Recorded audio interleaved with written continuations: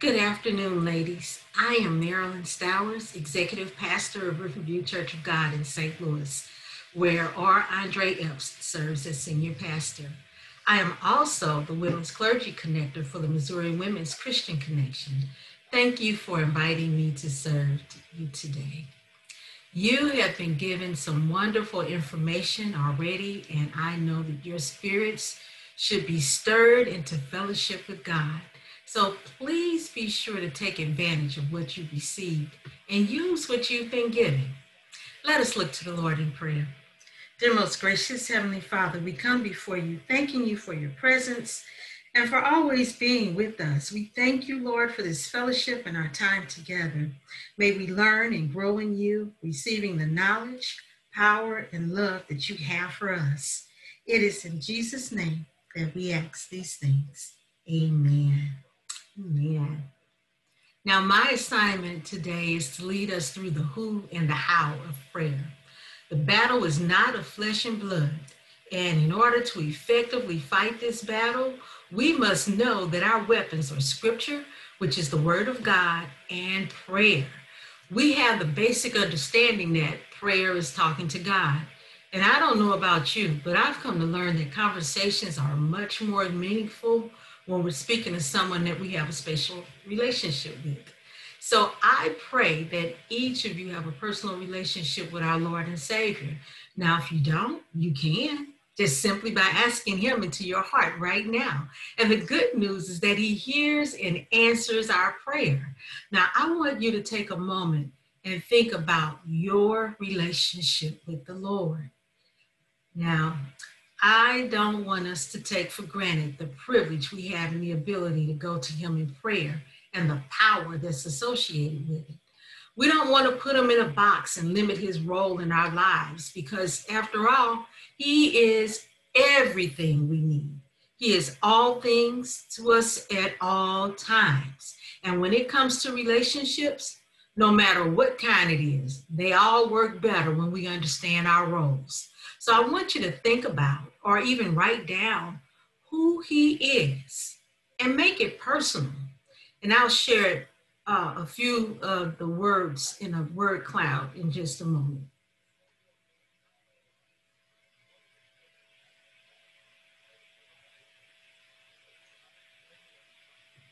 So here is the word cloud, and it's giving you a few ideas of who he is. Not a fully exhaustive list or anything like that, but we know him as our Lord. And I'm going to make it personal too. He is my Heavenly Father, He is my Savior, He is my Redeemer, He is my Deliverer, He is my Counselor, He is my friend. He is my healer and so much more. He's everything that I need him to be at any given moment. And during this pandemic, some of us have come to see him in a different light. For some, we've come to know him even more as a provider as unemployment increases and resources decrease. And for others, we've come to know him as our comforter as we've mourned the loss of our friends and loved ones. He is all powerful, ever present, all knowing. He is holy, He is righteous and just. So when we acknowledge who He is in His attributes, let us be careful not to ever demote Him to just being the spiritual genie or Santa Claus or the man upstairs because we're not lucky, we're blessed. And we don't make wishes, we say prayers. Prayer is our communication with God, our time with Him. We know Him to be the resource of our strength, the source of our strength, where our power comes from. He is our lifeline. And when it comes to prayer, we take for granted who we're talking to. And so, my question to you is do you realize who you're really talking to? Because it seems that we get to a place where we do so many things out of habit or routine, we forget why we're really doing it and the importance of it. We know what we're praying for, because many times we're asking for help, or healing, or something. And some of our prayers have gotten to be so routine that they're more like grocery lists God, I need, God, I want, husband, house, job, car. You fill in the blank. But we have gotten, or rather, we have forgotten what a privilege it is to go to the Father in prayer and the power that's associated with it.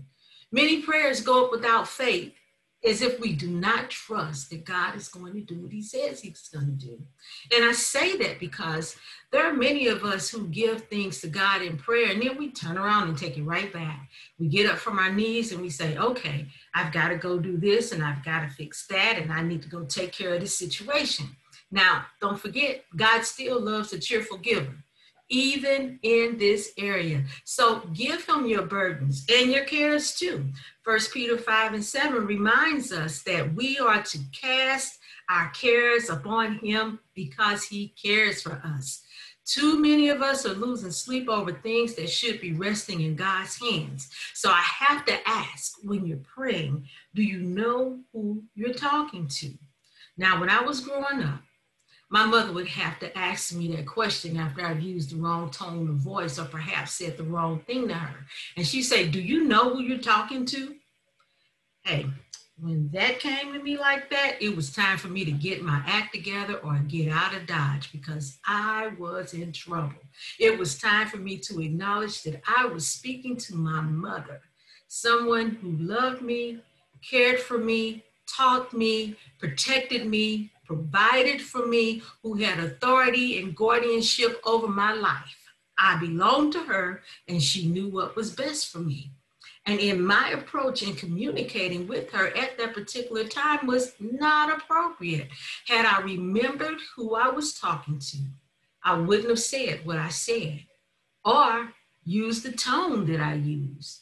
Or I would have refrained from asking for things that she had already said no to. Now, when we approach God, we must realize that God is infinitely far above our ability to fully understand. But he tells us through his word and the scriptures very specific truths about himself so that we can know what he is like and we can get to know him better and we can be drawn to worship him. So I ask, do we know who we're talking to? Let us look at some of the names of God. Now, as we become familiar with the names of God and the meaning of them, it helps us to get to know him better. It helps us to know who he really is and more about his character. And there are many more names than what I've listed. And this is just for the sake of example, because you need to study and learn this for yourselves. And as we pray them, and we begin to know and acknowledge who he is, like uh, one of his names is Jehovah Shalom, which means the Lord is my peace. We receive peace in the fullness of his spirit. When we pray to Jehovah Jireh, our provider, we are acknowledging that we are approaching the one who is the provision of our needs. And when we pray to Jehovah Rapha, the one who heals, we know that the benefit is soundness of body and spirit. And really, that's just scraping the top of the surface. That's just to name a few. But are we remembering who he is and his attributes? Lord, Father, Savior, Redeemer, Deliverer, Counselor, the one who is omnipotent, omnipresent, omniscient, holy, righteous, and just. When we are consciously aware of the powerful, loving one we are approaching, the tone, the content, and expectation of our conversations with him, they would change. Now, when it came to my mother, had I approached her as a child, remembering and acknowledging that I was speaking to my mother, a person of authority in my life, my response and my tone during the conversation would have been much more respectful. And that's why it's important to know our place, to know our role. And the thing is, knowing whose you are is the beginning of true victory in this spiritual warfare. And knowing who you are in Christ always allows you to live your life as God intended and to fulfill his purpose in your life. So let us get a better understanding of who we are. Let us look at who God says we are. Oh, wow. Look at that. I mean, just look at it. Did you know that you were all that? You are beautiful. You are lovely. You are loved. You are chosen. Just simply choose to believe what God says about you. Even just starting with the fact that you are fearfully and wonderfully made. You are cared for. You are protected. You are unique. You are forgiven. You are created for a purpose. You are His. And just I have many of them listed. There's so many more in the Bible, but as you just let this soak in, and come into the knowledge of who you are in Him, you will begin to gain a better understanding of your relationship with Him and your role as His child, a king's kid. Now, this sums it up. I don't know who the author is, but the title is Who You Are. And it says, You're not just an ordinary person. You're a child of the living God. You're an heir of God and a joint heir with Jesus Christ. You're not just a sinner, you're a new creation in Christ. You're part of a chosen generation, a royal priesthood, a holy nation. You are one of God's chosen people. Now, just think about that. Think about where you are right now, your position in life and what he is to you in this moment. You may not feel beautiful, but you are in his sight. You may not feel strong, but in your weakness, he is made strong. In our time of need, he is our provider. In our sickness, he is our healer. And when you have a clear definition of our relationship and an understanding of our role, doesn't that just change your conversation with him? Knowing your God given identity gives you confidence, it gives you self esteem and awareness. Knowing who you are and whose you are changes everything. And if you truly realize that you are fearfully and wonderfully made, that would change the way you view yourself. So when you pray, Speak to him from that place of understanding your role as his child, as the one he called, the one he chose, and the one he loves. He loves you more than anything. God wants you to know that he loves you very much. He loved you enough to send his son to die for your sins and mine. There are so many believers who don't know him as well as they should. And this explains why we go through so many unnecessary changes and don't use the power that he's given us to overcome or even endure certain situations. Too many of us have a casual relationship with him when he desires an intimate relationship. We are his bride, not a blind date. And that's why I have to ask do you really know who you're talking to? In the Bible, knowing someone meant that you are very close to them. We're speaking of an intimate relationship. How do you get to know someone and don't spend time with them? When we get to know God through His Word and our time of prayer, He is the loving Father and we are His children. That's what we get to know. And in Isaiah 43 and 4, we are reminded that we are precious in His sight and honored, and He loves us. Just think about the relationship of how a parent loves a child and would do anything for them. Conversations come naturally to them because conversations come naturally for those who we're connected to and have a relationship with. And it doesn't happen overnight. Relationships take time. The relationship with our Heavenly Father is built on our conversations with Him as we allow Him to enter into our lives. Just think about someone you're close to when something happens in your life, whether it's good or bad, the first thing you do is you call them and you tell them what happened, or you visit them and you have that conversation of what's going on in your life. Do we do the same thing with God? I mean, we really need to get in the habit of talking to God on a regular basis. I can't stress that enough. That is how relationships are built. So, how do you talk to God? Now, it's easy to get caught up in wondering about how to talk to God and if there's a correct way to pray, but all you have to do is speak. Just speak. Simply tell God what is on your heart by talking to Him, our Heavenly Father, because He cares for you and He wants you, His child, to cry out to Him.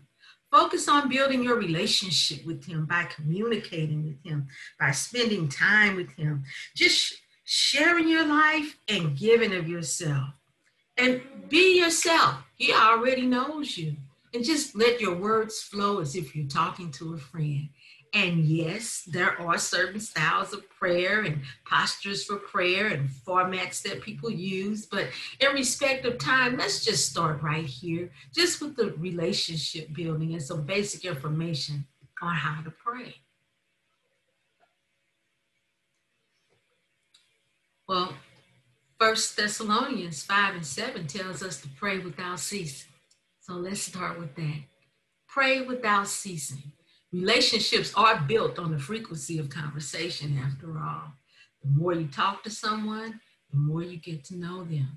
Think about how often you talk to the closest people in your life your spouse, your friends, your parents, your children. The more often you talk to them, the closer you become. And with each conversation, you gain more knowledge about them and their lives that you wouldn't otherwise know unless you had communicated. When we go days and weeks and months without talking to someone, we're just not as close and the relationship begins to suffer. Now, I'm still connected with some of the friends I grew up with, but we don't live in the same city and we sometimes go months without talking. Now, we know the major events that's taking place in each other's lives and we catch up quickly when we get a chance to talk, but we don't have that day to day knowledge and intimacy that we once had. This is the same with God. The more you talk with Him, the closer you will be to Him and you'll begin to feel His presence. And to pray without ceasing is just that staying connected to Him, keeping in communication with Him at all times. Pray when you wake up. Pray as you drive. Pray before you get out of your car at work. Pray over your children as they play. Pray as you face decisions and concern throughout the day. Pray when you feel the stress, the worry, and the doubt creeping into your heart. Say a prayer of thanksgiving as you acknowledge how God is working and moving in your life. Thank Him for being who He is and, and for loving you as he does. He just loves us so much that we can't even fathom it. And then when you don't feel like praying, you still need to just let him know. He already knows what's going on with you. You just say, Lord, help me today. Lord, I thank you for the Holy Spirit who intercedes on our behalf and prays for us when we don't even know how to pray. Lord, I am frustrated. Lord, I am weak. Lord, I can't put my words together right now. I cannot organize my thoughts, but you know what I'm going through, Father, and I'm just praying for you to just take control of my spirit, Lord. Take control of me. Take a hold of me, Lord God. Give me strength because I'm just weary and tired right now. And guess what? By the time you get through telling God all that, at the end of your conversation, I guarantee you, you probably will end up praising Him. But while you get through whining, about why you can't pray, guess what? You were praying because you were talking to God. But also, what we need to do is make sure that we allow room for God to speak. Let me ask you this. Have you ever been in the company of someone who dominates the conversation and makes it all about them? Well, I think we've all been in those at one point or another, but these are not always enjoyable or productive conversations. A good conversation is always a two sided conversation. Now, we tend to call out to God in prayer, and then we don't even give him an opportunity to answer. Jeremiah 33 and 3 says, Call to me, and I will answer you and will tell you great and hidden things that you have not known. We need to allow time for him to speak to us as we would in any other conversation. Just think about it. When we have conversations with those who are close to us, we typically begin exchange uh, with greetings. And then we ask how the other is doing. We might pay a compliment. We may encourage them and ask them what's going on in their lives. We may even give advice. We may offer to assist with something or share with them where we have a need in our lives. And they would do the same for us. You know, a typical conversation. God wants this same kind of conversation with us. So maybe in your conversation with God, if you said, I don't know what to say, you know, start with the compliment. Acknowledge something amazing that you noticed that God created. A beautiful sunrise or an awe-inspiring moment or thank him for his creation or blessings in your life or both. You can pray the names of God as we talked about earlier. Lord, because you are my healer. I'm praying for you to touch my body. You can pray the scriptures. You can pray some of his promises that are found in the scripture. Lord, you said that you'll never leave me nor forsake me. So I have no reason to fear. I'm never alone. Plus, Lord, I know that you've not given us the spirit of fear, but of power, love, and a sound mind. Just a couple examples there. But then instead of just making a list of demands and requests, also ask Him for guidance and direction. Ask Him to speak His truths into your heart. This makes the conversation more two sided by inviting Him to enter into the discussion. Then, what we need to do is make sure that as He speaks, we are listening. If we don't take the time to listen in a conversation, then we're just talking at someone, and they're not likely to continue the relationship for very long.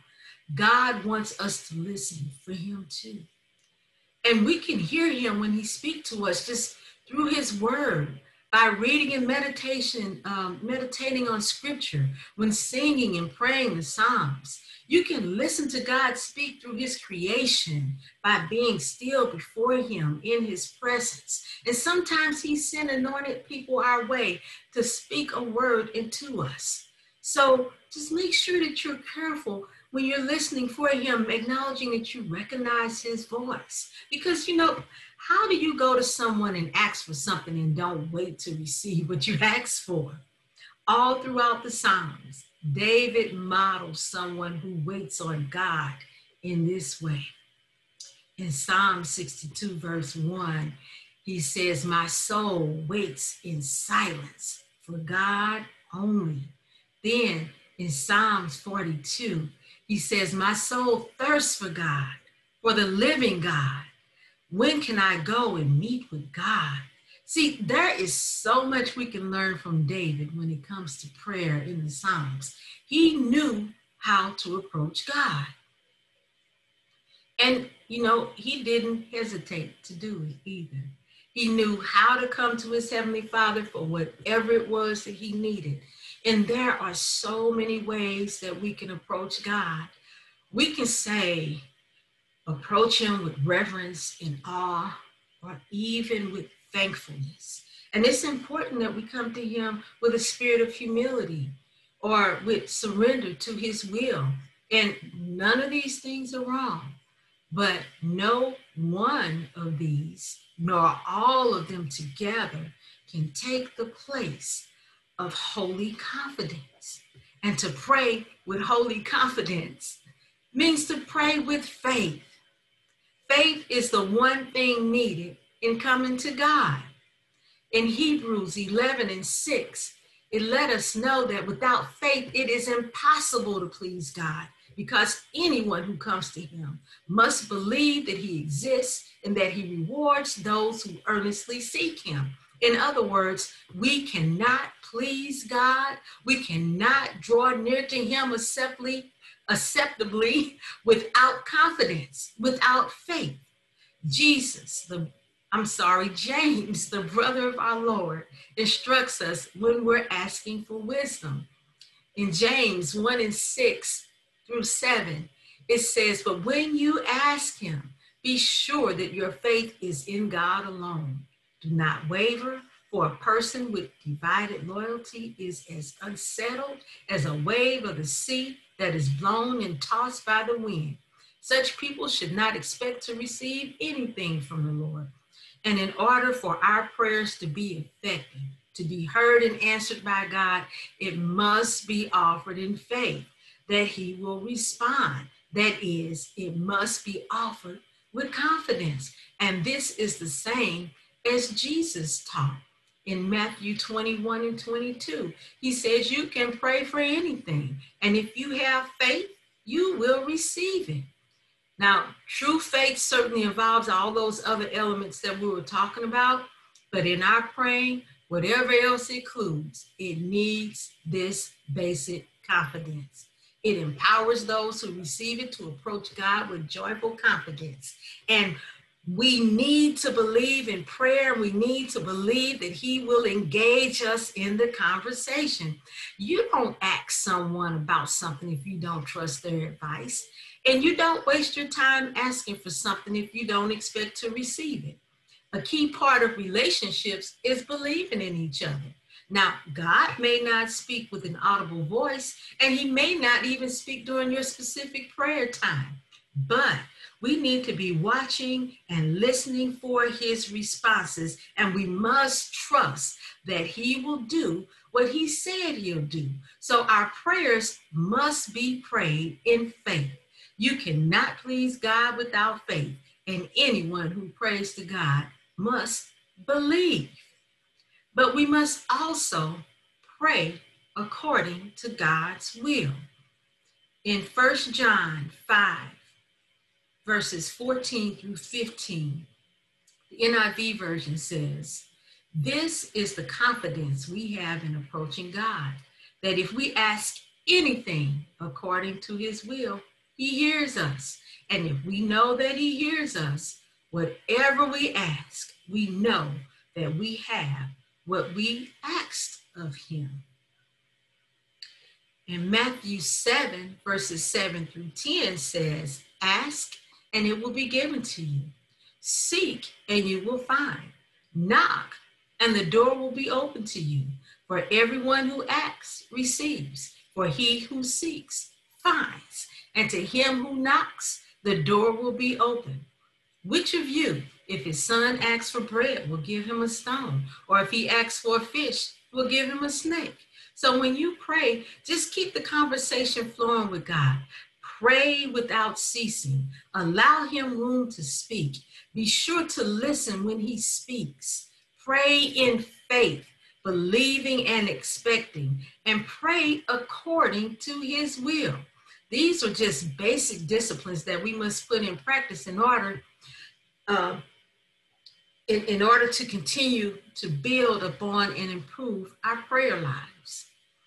Now, I want to share a few examples of women in the Bible who prayed with amazing results.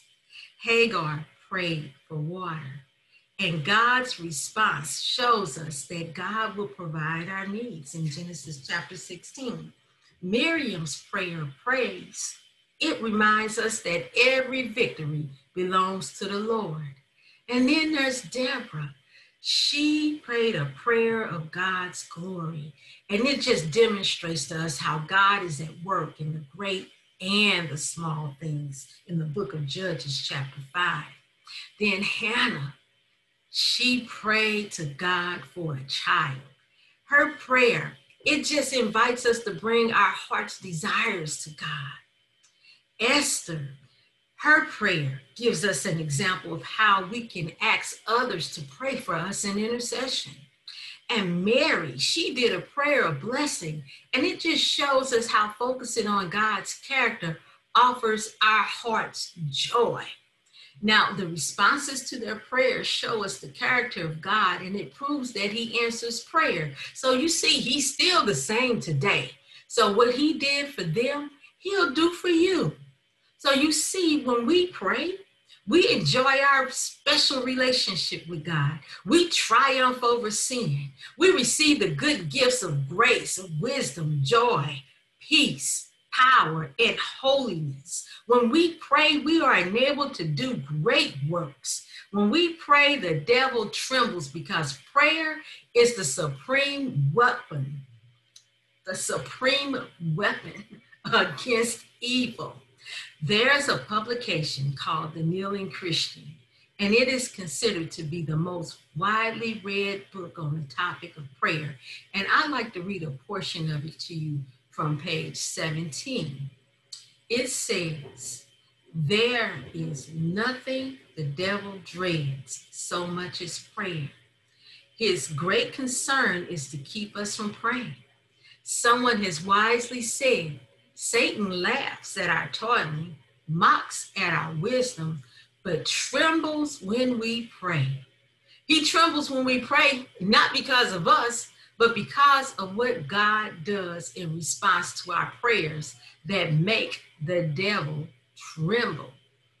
So, what happens when we pray? Walls come down. We see a breakthrough. Relationships are restored. Healing and deliverance takes place. There's transformation, and we have a strong connection, a thriving, healthy, growing relationship with God. Let us look to the Lord in prayer. Thank you.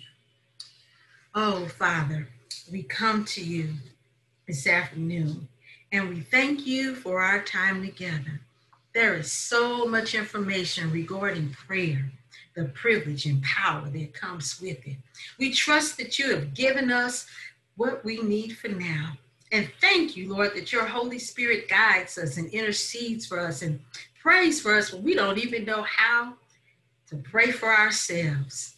Collectively, Lord, there's a multitude of petitions, concerns, and requests among us.